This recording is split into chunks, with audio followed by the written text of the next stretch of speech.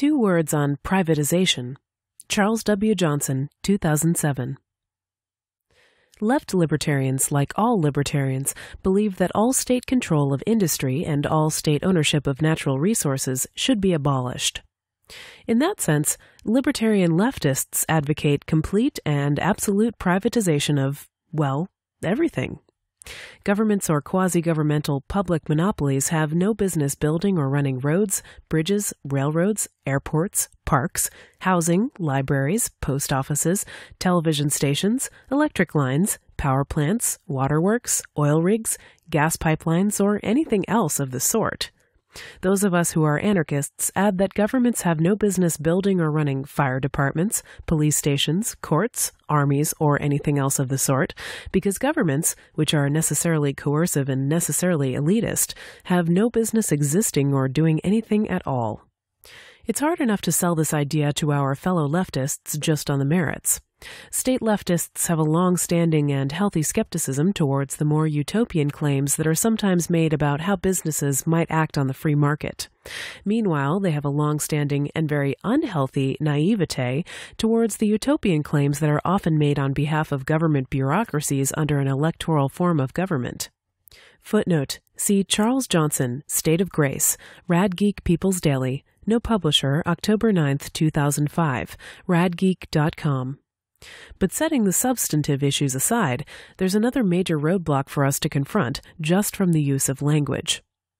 There is something called privatization, which has been a hot topic for the past 15 to 20 years. It has been a big deal in Eastern Europe, in third world countries under the influence of the IMF, and in some cases in the United States too. Naomi Klein has a new book on the topic, which focuses on the role that natural and artificial crises play in establishing the conditions for what she calls privatization. Footnote Naomi Klein, The Shock Doctrine The Rise of Disaster Capitalism, New York Metropolitan, 2007.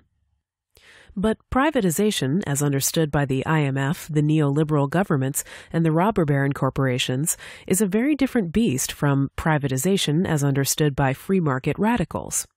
What consistent libertarians advocate is the devolution of all wealth to the people who created it, and the reconstruction of all industry on the principle of free association and voluntary mutual exchange.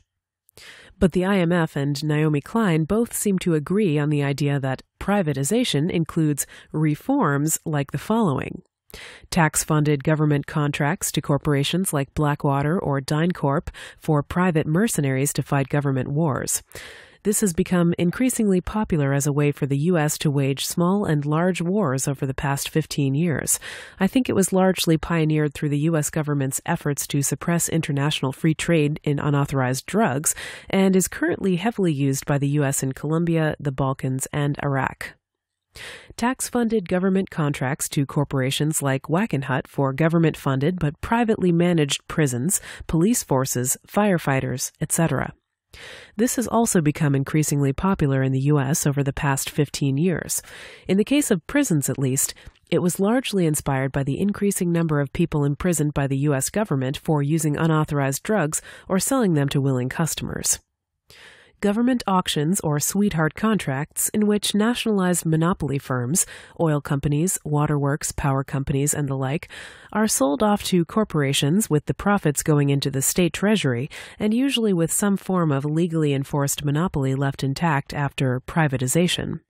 One of the most notorious cases is the cannibalistic bonanza that Boris Yeltsin and a select class of politically connected oligarchs helped themselves to after the implosion of Soviet communism. Throughout the Third World, similar auction or contract schemes are suggested or demanded as a condition for the national government to receive a line of tax funded credit from the member states of the International Monetary Fund.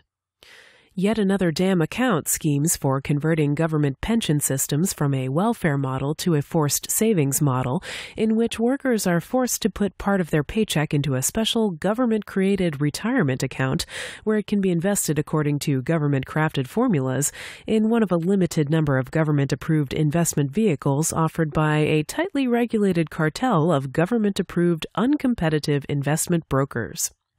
This kind of government retirement plan is supposedly the centerpiece of privatization in Pinochet's Chile and has repeatedly been advocated by George W. Bush and other Republican politicians in the United States. Klein and other state leftists very often claim that these government privatization schemes are closely associated with right wing authoritarian repression, up to and including secret police, death squads, and beating, torturing, or disappearing innocent people for exercising their rights of free speech or free association in labor unions or dissent groups. And they are right. Those police state tactics aren't compatible with any kind of free market, but then neither are any of the government auctions, government contracting, government loans, and government regulatory schemes that Klein and her comrades present as examples of privatization. They are examples of government backed corporate kleptocracy. The problem is that the oligarchs, the robber barons, and their hirelings dishonestly present these schemes, one and all of them involving massive government intervention and government plunder from ordinary working people, as if they were free market reforms. And Klein and her comrades usually believe them. The worst sorts of robber baron state capitalism are routinely presented as if they were arguments against the free market, even though pervasive government monopoly, government regulation, government confiscation, government contracting, and government finance have nothing even remotely to do with free markets. I'd like to suggest that this confusion needs to be exposed and combated. In order to combat it, we may very well need to mint some new language. As far as I know, privatization was coined by analogy with nationalization.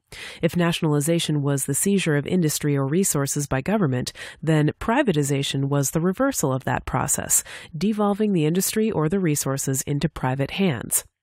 It is clear that the kind of government outsourcing and kleptocratic monopolies that Klein et al. condemn don't match up very well with the term. On the other hand, the term has been abused and perverted so long that it may not be very useful to us anymore either. So here's my proposal for linguistic reform. What we advocate is the devolution of state confiscated wealth and state confiscated industries back to civil society. In some cases, that might mean transferring an industry or a resource to private proprietorship. If, for example, you can find the person or the people from whom a nationalized factory was originally seized, the just thing to do would be to turn the factory back over to them. But in most cases, it could just as easily mean any number of other ways to devolve property back to the people. 1. Some resources should be ceded to the joint ownership of those who habitually use them. For example, who should own your neighborhood streets? Answer You and your neighbors should own the streets that you live on. For the government to seize your tax money and your land and use it to build neighborhood roads, and then to sell them out from under you to some unrelated third party who doesn't live on them, doesn't habitually use them, etc., would be theft. 2. Government industries and lands where an original private owner cannot be found could and probably should be devolved to the cooperative ownership of the people who work in them or on them. The factories to the workers, the soil to those who till it. 3. Some universally used utilities, waterworks, regional power companies, perhaps highways, which were created by tax money, might be ceded to the joint ownership of all the citizens of the area they serve. This is somewhat similar to the Czechoslovakian model of privatization, in which government industries were converted into joint stock companies and every citizen was given so many shares. 4. Some resources, many parks perhaps, might be ceded to the unorganized public. That is, they would become real public property in Roderick's sense, rather than in the sense of government control. Footnote See Roderick Long, A Plea for Public Property, Chapter 15, pages 157 to 168 in this volume. Now, given the diversity of cases and all of the different ways in which government might justly devolve property from state control to civil society, privatization is really too limiting a term. So instead, let's call what we want the socialization of the means of production. As for the IMF Blackwater model of privatization, again, the word doesn't fit the situation very well, and we need something new in order to help mark the distinction.